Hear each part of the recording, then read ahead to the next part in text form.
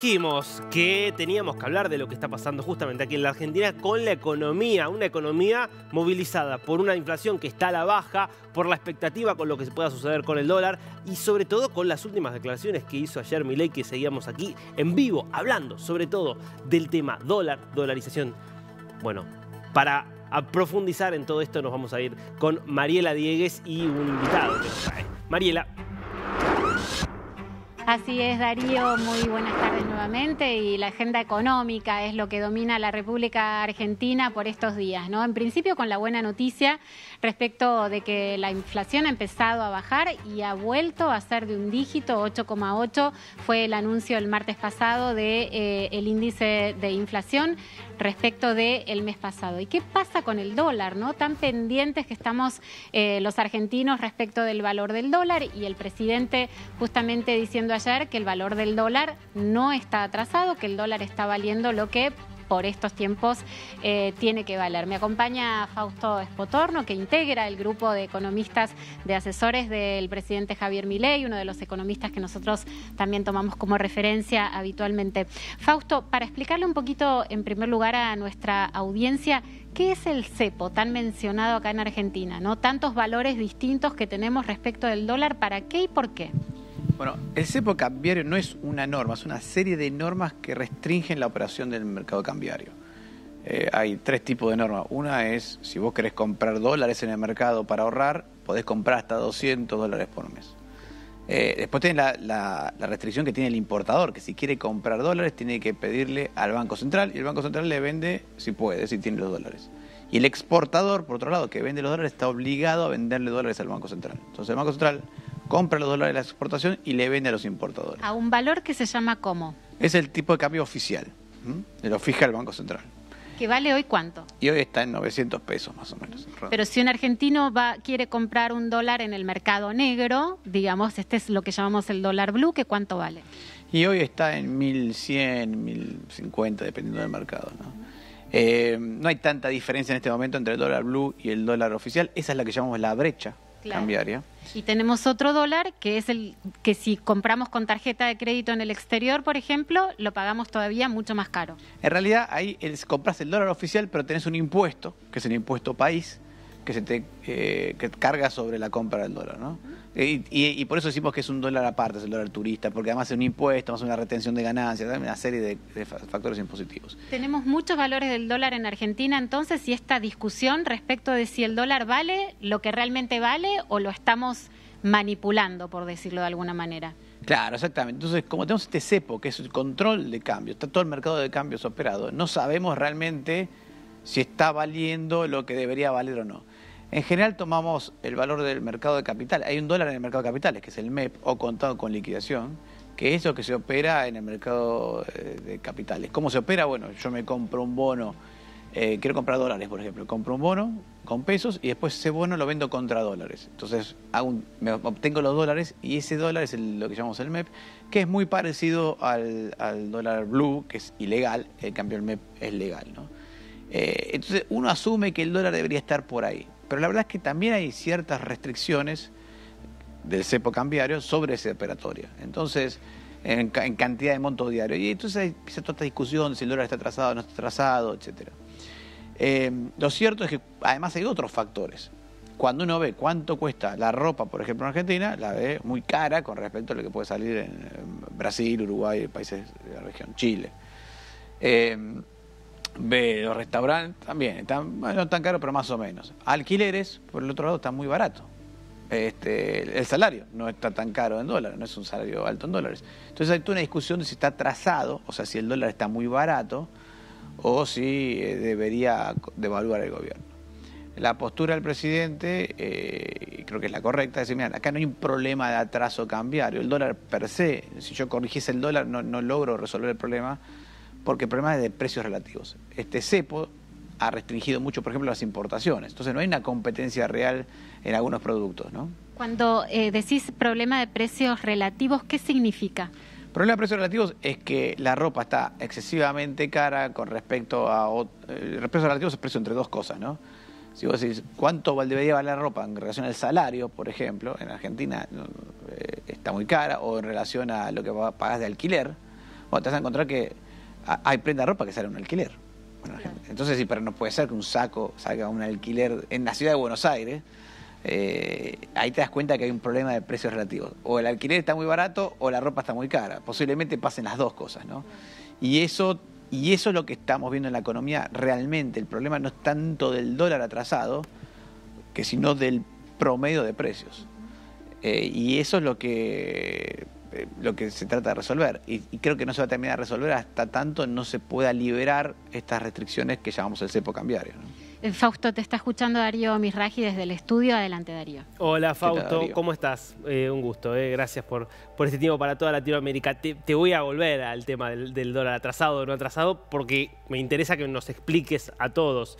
A ver, en la Argentina, y esto lo digo sobre todo para nuestro público, ha pasado lo siguiente. Nosotros venimos de cinco meses de mucha inflación, donde los precios de un montón de cosas han subido mucho, y al mismo tiempo el precio del dólar, si miramos el dólar paralelo, se ha mantenido prácticamente estable, el dólar blue, y el dólar oficial ha subido, pero mucho menos en porcentaje que lo que subieron el resto de los productos o la mayoría de los bienes y servicios. Con lo cual, hoy se da el fenómeno de que hay un montón de cosas que en dólares son hoy mucho más caras de lo que eran. Y mi pregunta es, eso, si Argentina se va volviendo más cara en dólares precisamente por este tema, ¿no es un problema, por ejemplo, de competitividad frente a nuestros vecinos? Podría serlo, a ver, pero no estamos en ese punto todavía. Acá, hay un problema de niveles. Yo te voy a dar un ejemplo para que se entienda. Si yo tomo el tipo de cambio argentino, de toda la historia argentina, por lo menos de que yo me di, que es de 1870 hasta hoy, el tipo de cambio promedio de la Argentina ah, es 900 pesos. Y hoy estamos en, el oficial está en 900 pesos y el blue está en 1000.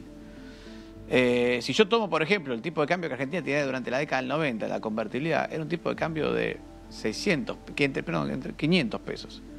Y el tipo de cambio que teníamos durante el 2017-2018 a precios de hoy, o sea, trasladado a precios de hoy, era de 600 pesos. Entonces, si bueno, estás atrasado, el nivel no está atrasado. Eh, es cierto que con respecto a, lo que fue diciembre, donde el tipo de cambio estaba súper alto, donde el salario, vamos a poner, vamos a poner términos salarios, si en vez de tomar los precios tomamos los salarios, te vas a dar cuenta de lo que digo. El, salario promedio en la historia argentina más o menos entre 900 y 1000 dólares. Eso más o menos. Eh, cuando el tipo de cambio estuvo muy atrasado en la época de Macri, por ejemplo, estuvo en 1.400 dólares, llegó a estar en 1.700 dólares. Eh, hace un año, cuando fue toda la devaluación, menos de un año, en noviembre, siempre estaba en 350 dólares. Hoy está en 750 dólares. Entonces, si vos miras los salarios, no están caros los salarios en términos históricos. Entonces ahí te das cuenta que no hay un problema de atraso cambiario. Cuando hay un problema de atraso cambiario significa que todos los precios de la economía están caros. No que uno es tan caro y otro tan mm. baratos. Eso ya implica que hay otro problema, que hay un problema de, otro orden, que para mí es el tema del cambiario y las restricciones cambiarias. Eh, ahora, a nivel, el nivel no es caro. Y puede ser que se vaya atrasando un poco más en la medida en que el gobierno vaya frenando la, vaya frenando la inflación, todavía mantenga esta inflación alta, lo vaya logrando bajar. Pero el atraso cambiario no va a ser tan importante. Eh, y, la verdad es que con los otros problemas que tiene el gobierno, sobre todo el cepo cambiario, la necesidad de ajustar tarifas, y estar pidiéndole al gobierno que devalúe, porque es como decirle a un piloto, che, se está incendiando el ala, está tratando de aterrizar sin motores, y vos decís, la puerta no abre bien, mirá. Bueno, no es el momento para hacerlo. Posiblemente cuando Argentina logre estabilizar la economía, veremos cómo quedó el tipo de cambio, pero la verdad es que toda la sensación, tenemos toda la sensación de que no tiene ese atraso. Ahora, si me decís, hay un problema de precios relativos y te digo, sí, es un problemón de precios relativos. Eh, el salario está atrasado, los alquileres están baratos, la, tarifa está, las tarifas eléctricas de gas están súper baratas, la ropa, los restaurantes están súper caros. Bueno, eso es otro tipo de problema, pero eh, esto es importante entenderlo porque si no, eh, la herramienta que se usa para resolver el problema es la equivocada. Si yo hoy devalúo para corregir un supuesto trazo cambiario porque la ropa está cara, lo único que voy a generar es más distorsión de precios y es lo que no se quiere lograr. Clarísimo, clarísimo, Fausto. Pero entonces vayamos a lo que vos planteás y que todos plantean, que, es el mayor problema.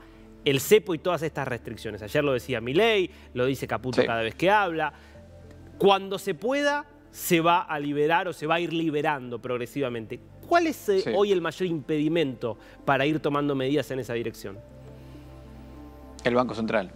O sea, Argentina tiene un banco central que está prácticamente quebrado. Eh, está, se está, se está tratando de recomponer un poco el balance del Banco Central, pero eh, hay que entenderlo. Es, eh, si yo no tengo cepo cambiario y libero el mercado cambiario y libero el mercado monetario, como pasa en cualquier país del mundo, todos los países del mundo tienen un banco central. Hmm. Entonces, ¿el Banco Central qué es lo que hace? Y estabiliza la moneda, si sube mucho el dólar puede intervenir vendiendo algunos dólares, si, si hay una caída en la demanda de dinero, bueno, absorberá dinero, bueno, es lo que estabiliza un poco el programa monetario, lo hace la Reserva Federal cuando sube y baja la tasa de interés, lo hace en cualquier banco central del mundo. El problema es que un banco central que hoy tiene como objetivo número uno salir de su estado de casi quiebra, y no puede hacer eso, porque no puede vender dólares que no tiene, si quiere intervenir en el mercado de cambios, eh, si, si, compra demasiados dólares, inyecta demasiados pesos, como la demanda de dinero está tan baja, se te puede ir inflación. Entonces, hasta que no acomodes un poco al Banco Central, donde el Banco Central puede usar sus herramientas, que es la tasa de interés. Pensá que hoy es el principal deudor del sistema financiero argentino. Para la gente que no es argentina, va a entender esto. La mitad de todos los de, todo el crédito que hay en Argentina se lo lleva el Banco Central. Una locura. Eh, y eh, entonces, ¿qué pasa? El principal deudor, por lejos, es el Banco Central. En cualquier país del mundo, los bancos centrales cuando quieren frenar la inflación suben la tasa de interés. ¿Por qué? Porque eso reduce el crédito, los consumidores deciden tomar menos crédito, consumen menos, las empresas invierten menos porque la tasa de interés es más alta y se frena la inflación. Acá en Argentina, como el principal deudor es el Banco Central, cada vez que el Banco Central subía la tasa de interés, el problema es que después tenía que emitir más pesos para pagar los intereses que había, se había comprometido a pagar, porque él era el principal deudor. Entonces te pasaba que subía la tasa de interés, bajaba un poquito el dólar un ratito y después se escapaba la inflación de nuevo porque había más pesos en la calle que había emitido el propio Banco Central. Entonces ahí te das cuenta del principal eh, problema, es el Banco Central. Hasta que no tengas un Banco Central ordenado, no podés salir de cepo. ¿Cómo se ordena el Banco Central? Bueno, dos caminos. Uno es ir comprando reservas en la medida en que, eh, en que la demanda de dinero se va recomponiendo, porque vas comprando dólares, emitís pesos para comprar esos dólares y el mercado acepta esos pesos. Y en segundo lugar, a medida que se vaya bajando la tasa de interés, que puede el Banco Central bajando la tasa de interés, eh, bueno, va a tener que pagar menos pesos por los intereses que tiene y si es posible, en la medida que se recompone la, la demanda de dinero, podrá ir cancelando esos pases. Clarísimo, Fausto. Clarísimo, Fausto. Te dejo con, Mariela para, una pregunta final. Gracias de vuelta. ¿eh? Gracias, Darío. Nada más que para agradecerle a Fausto su tiempo y, por último, eh, ¿en cuánto tiempo crees que se va a liberar el dólar y se va a sacar el cepo? Yo me imagino que va a ser un proceso que va a durar todo el segundo semestre, porque eh, no es, ya te decía, no es una medida el cepo, son varias medidas. Y después está este tema del impuesto país, que les mencioné brevemente, pero que es un impuesto que funciona como una semicepo. Y eso vence en diciembre. Habrá que ver si el gobierno lo quiere renovar, no sé, qué me da la sensación de que no. Si es posible, no lo renovaría como para entrar ya el año que viene sin cepo cambiario. Muy bien, muchísimas gracias Fausto Spotorno. Entonces, con la economía que domina por estos días la agenda de la República Argentina. Clarísimo, gracias eh, Mariela, gracias nuevamente a Fausto.